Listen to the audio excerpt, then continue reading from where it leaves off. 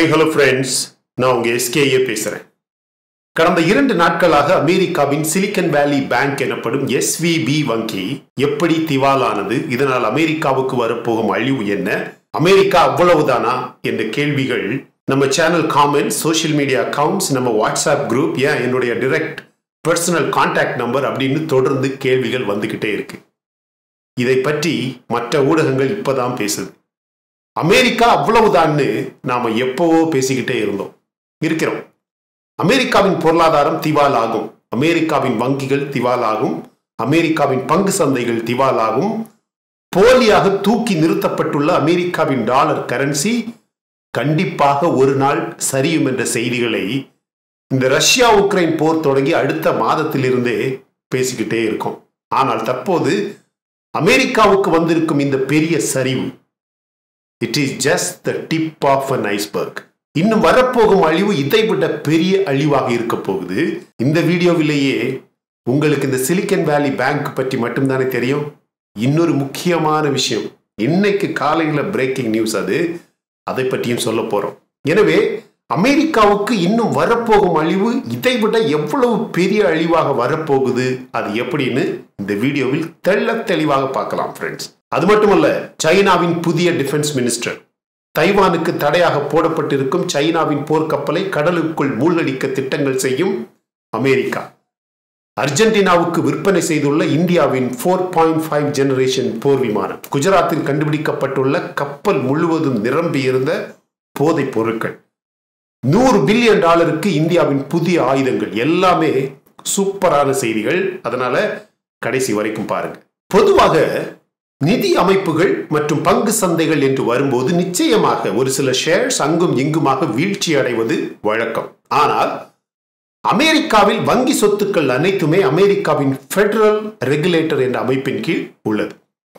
Federal நிதி அமைப்பால் இருபது நிமிடங்களில் ஒரு ட்ரில்லியன் டாலர் பணத்தை அச்சிட முடியும். அந்த அளவுக்கு அமெரிக்காவில் பணம் அச்சிடும் வசதி மிக முன்தங்கிய நிலையில் உள்ளது. வெரி வெல் அட்வான்ஸ்ட் இதுவும் அவர்களது டாலர் சக்திக்கு ஒரு பொதுவான காரணம். பொதுவான வழக்கத்தில் ஒரு பேங்க் வீழ்ச்சி அடையும் போது ஃப்ரீ மார்க்கெட் என்று சொல்லப்படும் அமைப்புகள் இந்த வங்கிகளின் சந்தை பங்குகளை எடுத்து அந்த வங்கிகளை பாதுகாக்க முயற்சி செய்வது வழக்கம். ஆனால் தற்போது அமெரிக்க ஃபெடரல் ரெகுலேட்டர் என்ற அமைப்பு முழுவதுமாக களத்தில் இறங்கி வங்கிகளுக்கு உதவ வேண்டிய கட்டாயத்தில் உள்ளது. இன்று அமெரிக்காவில் அனைவருமே கேட்கும் கேள்வி இன்று அமெரிக்கா திவாலாகிறது என்றால் அதற்கு மிக முக்கியமான காரணம் ரஷ்யா உக்ரைன் போரினை அமெரிக்கா கையாண்ட விதம். அமெரிக்க மக்கள் பிரசிடென்ட் பைடன் தான் அமெரிக்காவுக்கு இந்த சிக்கலை உருவாக்கினார் என்று நம்புகிறார்கள். உக்ரைன் அழிவுக்கு திட்டமிட்டவர் பைடன் என்ற ஒரு பேச்சு பரவலாக பொதுவாக அமெரிக்காவில் வந்துவிட்டது. Energy price higher inflation collapse tech industry என எல்லாமே அமெரிக்காவின் ஜாப் மார்க்கெட் அழிவை தொடங்கி வைத்தது. ரீட்டைல் சேல்ஸ் வரலாற்றில் இதுவரை இல்லாத அளவு குறைந்துள்ளது. இந்த சிக்கல்கள் அனைத்துமே தற்போது அமெரிக்காவின் நிதி நிறுவனங்களில் பண பற்றாக்குறையை ஏற்படுத்திவிட்டது. இந்தியாவின் எஸ் பேங்க் உங்களுக்கு அந்த கதை உங்களுக்கு ஞாபகம் இருக்கா? அந்த கதை தான் தற்போது இந்த அமெரிக்காவின் சிலிக்கன் வேலி வங்கிக்கு நடந்துள்ளது. எனவே இன்று உடனடியாக அமெரிக்காவின் பெடரல் அமைப்பு இந்த சிலிக்கன் வேலி வங்கியை காப்பாற்ற பணம் கொடுக்க தயார் என்று சொல்லி புதிய கட்டுப்பாடுகளை விதித்துள்ளதாக செய்திகள் வர ஆரம்பித்துள்ளது. அதுக்கும் என்ன பண்ணுவானுங்க? அதிகமான டாலர்களை உடனடியாக பிரிண்ட் செய்ய ஆரம்பிப்பார்கள். இந்த வங்கியில் இந்த சிலிக்கன் வேலி வங்கியில் வெறும் டிபாசிட் பணம் மட்டுமே நூற்றி எழுபத்தி ஐந்து பில்லியன் டாலர் டெபாசிட் இருப்பதாக டேட்டா வெளிவர ஆரம்பித்துள்ளது. நீங்க யோசிக்கலாம். அதான் அமெரிக்காவின் பெடரல் நிறுவனம் இந்த வங்கியை காப்பாற்றுவதாக சொல்லிவிட்டதே. இன்னும் என்ன சிக்கல் என்று கேட்பீங்க அங்கதான் சிக்கலே அங்கதான் அழிவே. அமெரிக்கா முழு சுதந்திர அடிப்படையில் டெபாசிட் பணத்தை டெபாசிட் செய்தவர்களுக்கு கொடுத்து விடுவோம் என்று சொல்லி இருப்பது அமெரிக்க அரசாங்கம் தலையிட்டு டெபாசிட் செய்தவர்களுக்கு பணம் கொடுக்கிறது என்பது அமெரிக்காவின் பெடரல் அமைப்புக்கும் அமெரிக்க மக்களுக்கும் அமெரிக்க அரசுக்கும் ஒரு மிக மோசமான செய்தியாகும் ஏனென்றால் அமெரிக்காவின் பெடரல் அமைப்பு இந்த ஒரு வங்கிக்காகவே இருநூறு பில்லியன் டாலர் பணத்தை இழக்க வாய்ப்புள்ளது. ஏற்கனவே ஏழு ட்ரில்லியன் டாலர் கடனில் மூழ்கி இருக்கக்கூடிய அமெரிக்காவுக்கு இது ஒரு பெரிய அடுத்த பெரிய சிக்கலாக மாறியுள்ளது. அது மட்டுமல்ல நம்மில் அதிகமான பேருக்கும் தெரிந்தது இந்த ஒரே ஒரு சிலிக்கன் வேலி பேங்க் என்ற நிதி நிறுவனம் மட்டும்தான் மாட்டிக்கிட்டு இருக்கு அப்படிங்கிற செய்தி மட்டும்தான். ஆனால் இன்று காலையில் அமெரிக்காவின் இரண்டாவது வங்கி திவாலான கதை நம்மில் அதிகமான பேருக்கும் தெரியவே தெரியாது. ஏன்னா அமெரிக்காவில் இப்போதான் eight thirty nine o'clock அமெரிக்காவின் ஃபர்ஸ்ட் ரிப்பப்ளிக் என்ற வங்கி இன்று திவாலாகியுள்ளது. இன்று காலையில் ஒரே ஒரு மணி நேரத்திற்குள் இந்த வங்கியின் பங்கு சந்தையின் மதிப்பு எழுபத்தி ஐந்து பெர்சன்டேஜ் குறைந்து கிராஷ் ஆகியுள்ளது. நீங்களே இப்ப கூகுள்ல போய் த ஃபர்ஸ்ட் ரிப்பப்ளிக் பேங்க் அப்படின்னு இந்த ஸ்டாக் மார்க்கெட் டிக்கர்ல டைப் பண்ணீங்கன்னா உங்களுக்கு தெரியும். நான் ஒரு ஆஃப் அன் அவருக்கு முன்னாடி பார்த்தப்ப எழுபத்தி ஐந்து பெர்சன்டேஜ் கிராஷ் ஆகிருந்துச்சு வரலாற்றில் முதல் முறையாக இது நடந்துள்ளது. எனவே என்னதான் தவறு நடந்தது? சிம்பிள் இந்த சிலிக்கன் வேலி வங்கி அமெரிக்காவின் பெரிய பெரிய ஸ்டார்ட் அப் நிறுவனங்களுக்கு கடன் கொடுக்க ஆரம்பித்தது. இரண்டாயிரத்தி பதினெட்டாம் ஆண்டிலிருந்து அவர்களின் பணத்தில் எழுபது பெர்சன்டேஜ் ஸ்டார்ட் அப் நிறுவனங்களிலும் வெறும் முப்பது பெர்சன்டேஜ் மட்டுமே பிற அமைப்புகளில் முதலீடு செய்யப்பட்டுள்ளது. இருந்தாலும் இரண்டாயிரத்தி இருபது இருபத்தி ஒன்றாம் ஆண்டில் இந்த வங்கி அதிகமான அமெரிக்க பாண்ட் முதலீடுகளை பத்திர முதலீடுகளை அதிகமான அளவில் வாங்க தொடங்கியது. அதுக்கும் காரணம் இருக்கு. ஏனென்றால் கோவிட் காலத்தில் எந்த ஸ்டார்ட் அப் நிறுவனங்களுமே இவர்களது பணத்தை நிதி உதவியை வாங்க விரும்பவில்லை வாங்க முடியவில்லை தேவையில்லை. அவர்களால் ஸ்டார்ட் அப் நிறுவனங்களுக்கு கடன் கொடுக்க முடியவில்லை. எனவே வட்டி கலெக்ஷன் வரவில்லை. ஆனால் அவர்களுக்கு இன்னும் அதிகமான முதலீடுகள் தேவைப்பட்டது. எனவேதான் பாண்ட் பத்திர முதலீடுகளில் அதிகமான பணத்தை இந்த வங்கி போட ஆரம்பித்தது. ஆனால் உலக பொருளாதாரத்தை பற்றி கொஞ்சம் கூட கவலைப்படாத பைடன் மற்றும் அவரது புத்திசாலி முதலைகள் அதிக பணத்தை அச்சிட ஆரம்பித்தார்கள். இருந்தாலும் அமெரிக்காவின் இன்ஃபிளேஷனை இவர்களால் கட்டுப்படுத்த முடியவில்லை. எனவே அமெரிக்கா கட்டுப்படுத்த முடியாத பண வீக்கத்திற்கு சென்றது.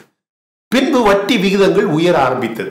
அங்கதான் வந்தது ஒரு புதிய டேஞ்சர் அமெரிக்காவின் பாண்ட் வேல்யூ பத்திர மதிப்புகள் தானாக சரிய ஆரம்பித்தது. திடீரென ஒரு சில நாட்களிலேயே நூறு பில்லியன் டாலர் பத்திரங்கள் எழுபத்தி ஒன்பது பில்லியன் டாலராகவும் வேகமாக எழுபது பில்லியன் டாலராகவும் மாறியது. இன்னும் கூட இந்த பத்திர விலைகள் தொடர்ந்து சரிகிறது.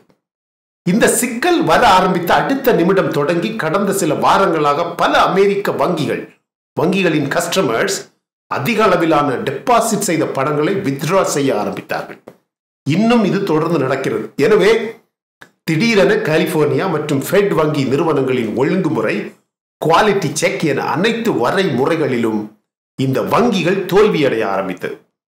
இரண்டாயிரத்தி இருபத்தி இரண்டு முதல் இரண்டாயிரத்தி இருபத்தி மூன்றில் இதுவரை அமெரிக்காவின் வட்டி விகிதம் தொடர்ந்து உயர்த்தப்பட்ட காரணத்தாலும் பத்திர பாண்ட் விலை வீழ்ச்சி காரணமாக இந்த வங்கிகளின் முதலீடுகள் மற்றும் பங்கு சந்தை மதிப்பும் யாருமே கட்டுப்படுத்த முடியாத அளவில் சரிய ஆரம்பித்தது. தொடக்கத்தில் வெறும் இருபத்தி ஐந்து பர்சன்டேஜ் இந்த சிலிக்கன் வேலி வங்கியின் பங்கு சந்தை குறைந்தது.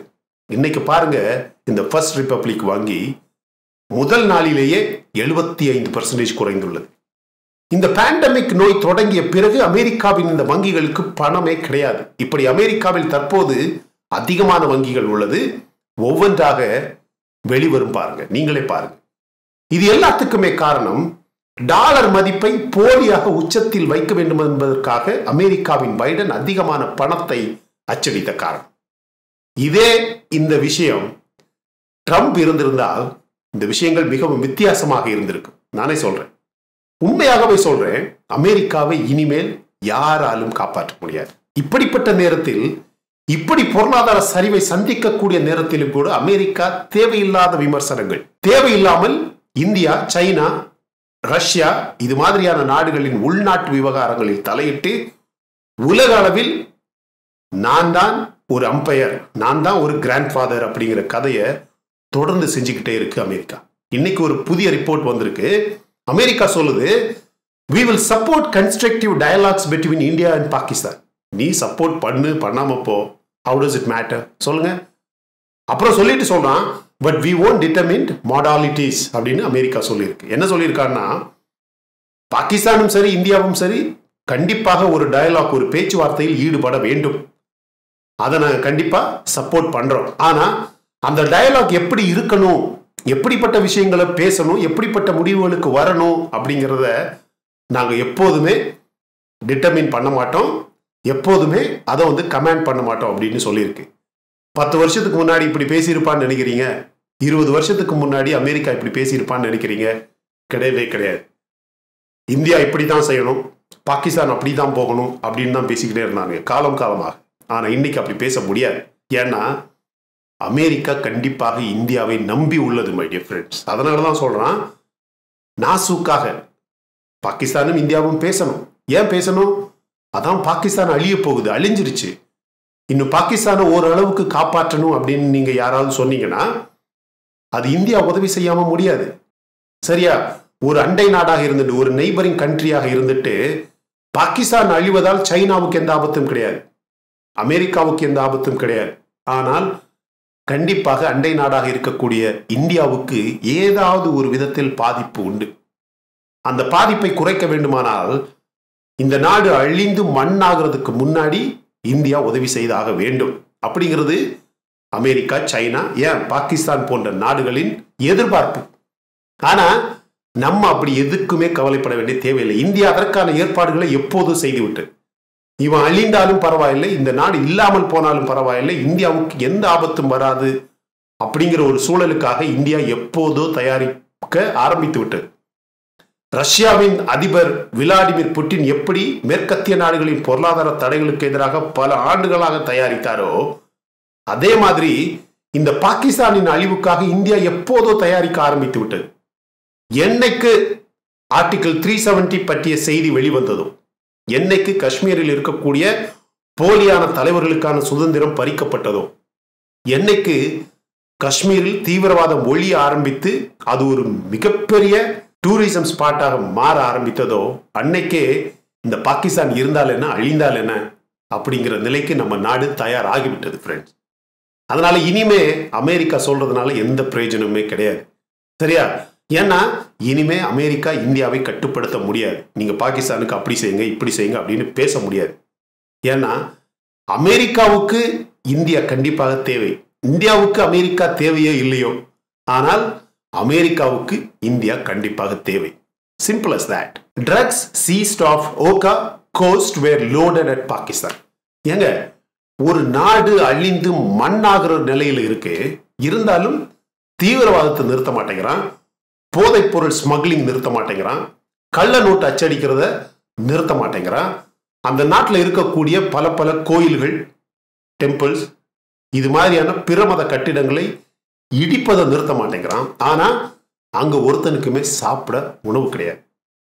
இன்னைக்கு பாருங்க குஜராத் கடற்கரையில் ஒரு கப்பல் முழுவதுமாக போதைப்பொருள் அந்த போதைப்பொருள் பொருள் வந்தது எப்படி வந்தது அப்படின்னு எல்லா ஒரிஜினாலிட்டிஸ் அது எங்கேருந்து வந்ததுன்னு சோர்ஸ் டீட்டெயில்ஸ் பார்த்தோம்னா it was loaded at Pakistan Pakistan கடற்கரையில் அந்த கப்பல் லோடு செஞ்சிருக்காங்க. இவங்களை திருத்தவே முடியாது ஃப்ரெண்ட்ஸ் நம்ம எவ்வளோ வருஷம் தான் எப்படி தான் இவங்களுக்கு அறிவுரை சொன்னாலும் அவனுக்கு மண்டையில் அது வயரிங் ஆயிருக்கு. சரியா? India to spend a massive hundred billion dollar to modernise its military நூறு billion dollar my dear friends India செலவு செய்ய போகுது. புதிய ஆயுதங்கள் வாங்குறதுக்காக இல்லை. இந்தியாவில் ஏற்கனவே இருக்கக்கூடிய ஆயுதங்களுக்கு இணையாக மிக நவீனமான மாடர்ன் ஆயுதங்களை உருவாக்குவதற்காக நூறு பில்லியன் டாலர் இந்தியா வந்து ஒரு டெவலப்பிங் கண்ட்ரி டெவலப்பிங் கண்ட்ரின்னு சொல்றவங்களுக்கெல்லாம் இது ஒரு பெரிய பாடம். ஒரு நாடு வந்து ஒரு குறிப்பிட்ட கால வரம்பில் நூறு பில்லியன் டாலர் வெறும் மிலிட்டரியை மாடர்னைஸ் பண்றதுக்காக செலவு செய்தனா அது சாதாரண விஷயம் கிடையாது. China uses TikTok for disinformation campaign in Taiwan இதை பற்றி நம்ம ஏற்கனவே ஒரு அழகான வீடியோ தைவான் பற்றி கிடையாது. சைனா வந்து எப்படி சோசியல் மீடியாவை மற்ற நாடுகளில் ரொம்ப நெகட்டிவான மைண்ட் செட்டை உருவாக்குறதுக்காக சைக்கலாஜிக்கலி வெரி இன்செக்யூர் ஃபீலிங் மக்களுக்கு இன்செக்யூர் ஃபீலிங் உருவாக்குறதுக்காக. தவறான தகவல்களை மற்ற நாடுகளில் சரியான தகவல்களாக நம்ப வைப்பதற்காக சைனா வந்து இந்த டிக்டாக் மற்றும் பிற சோசியல் பிளாட்ஃபார்ம் வந்து எப்படி பயன்படுத்துகிறாங்க அப்படின்னு ஒரு எக்ஸ்க்ளூசிவ் வீடியோ ஒன்று நம்ம சேனலில் பண்ணியிருந்தோம். இப்போ அது ப்ரூவ் ஆகிருக்கு மைடிய ஃப்ரெண்ட்ஸ் முக்கியமாக தைவான் நாட்டுக்குள்ளாடி அந்த தைவான் நாட்டு மக்களை வந்து தவறான செய்திகளை இதுதான் உண்மை அப்படின்னு நம்ப வைக்கிறதுக்காக சைனா எப்படி டிக்டாக் ஆப்பை வந்து பயன்படுத்தியிருக்கு அப்படிங்கிற உண்மை வந்து கண்டுபிடிக்கப்பட்டு ஒரு விழாவாரியான ரிப்போர்ட் வெளியே வந்திருக்கு மை ஃப்ரெண்ட்ஸ் இவனுங்களை கண்டிப்பாக தண்டிக்கணும். கொரோனா உருவாக்குனது. உலக அளவில் வேணும்னே ஃபேக் லாக்டவுன் பண்ணி அந்த லாக்டவுனே பேக் ஃபயர் ஆகி இன்னைக்கு பல லட்சம் மக்கள் இறந்துருக்கிறது மட்டும் இல்லாமல் பல கோடி மக்களுக்கு அந்த நோய் தொற்றி மொத்த பொருளாதாரமும் பாதிக்கப்பட்டு அதனால உலக பொருளாதாரத்தில் சர்வதேச அளவில் பல நாடுகளின் பொருளாதாரம் பாதிக்கப்பட்டு இன்னைக்கு உலகமே அழிவு பாதை இன்னைக்கு அமெரிக்கா அழிவு பாதையில் போயிட்டு இருக்குன்னா அது வந்து because of the trade war between America and China இது நம்ம எப்பவோ சொல்லியிருந்தோம் ஃப்ரெண்ட்ஸ் எனவே இந்த சைனா செய்யக்கூடிய ஒவ்வொரு செயல்களுமே உலகத்தை அழிவு பாதையில் கொண்டு செல்வதாக இருக்கு. ஆனா இதை கண்டுக்காம அமெரிக்கா அவன் பங்குக்கு அவனும் இந்த உலகத்தை எப்படி அழிக்கலாம்ங்கிறத பற்றி தொடர்ந்து யோசிச்சு அவன் நாடு அவன் மக்கள் அழியிறாங்க அப்படிங்கிறத கண்டுக்காம மற்ற நாடுகள் எப்படியாவது அழியணும் அப்படிங்கிற மாதிரி திட்டங்களை செய்கிற நாடுகள் இந்த சைனாவும் அமெரிக்காவுமா இருக்கு. அப்படிப்பட்ட நேரத்தில் ஒரு சில நேரங்கள் எதிரியை நம்பக்கூடாது ஒரு சில நேரங்களில் எதிரியை நம்பக்கூடாது நண்பனாக இருக்கிற மாதிரி இருக்கிற எதிரியை நம்பக்கூடாது. சரியா? France's Pasteur Institute suspends partnership with Chinese Academy of Sciences simple France நாட்டில் இருக்கக்கூடிய பெரிய பெரிய கல்வி நிறுவனங்கள் சைனாவில் இருக்கக்கூடிய பெரிய பெரிய கல்வி நிறுவனங்களுடன் இருந்த இந்த டைஅப் இருக்கு பார்த்தீங்களா அதை எல்லாமே ரத்து பண்ணிட்டாங்க மை ஃப்ரெண்ட்ஸ் இனிமே எஜுகேஷன் லெவலில் பெரிய பெரிய நாடுகள் வந்து சைனாவோட ஒரு டைஅப் வச்சிருக்காது. ஏன்னா கொரோனா நோய் ஆரம்பிச்சதே அப்படித்தான். சரியா? பல பல நாடுகள்லேருந்து இந்த இன்ஸ்டிடியூட் அப்படிங்கிற பேரில் ரிசர்ச் அப்படிங்கிற பேரில் பெரிய பெரிய சாம்பிள்ஸ் கொண்டு வந்து சைனாவிலையும் பாகிஸ்தான்லையும் ஆராய்ச்சிங்கிற பேரில் அதை அதை திரிக்க விட்டு பல பல விதவிதமான வைரஸ்களை உருவாக்குறது சைனா தான். இப்போ அது கண்டுபிடிக்கப்பட்டு விட்டது. ப்ரூவ் பண்ணிட்டாங்க. அதனால இனிமே சைனாவின் இன்ஸ்டிடியூஷன்ஸ் சைனாவின் எஜுகேஷனல் சென்டர்ஸ் சைனாவின் அகாடமி சென்டர்ஸ் இருக்கு பார்த்தீங்களா? அது கூட எந்த ஒரு டைப்புமே கிடையாது. Pakistan engulfed in political instability economic crisis அவனுங்க வச்சிருக்க தட்டுகளை பாருங்கள் எல்லா தட்டுக்களுமே காலியாக இருக்குது சாப்பாடே கிடையாது.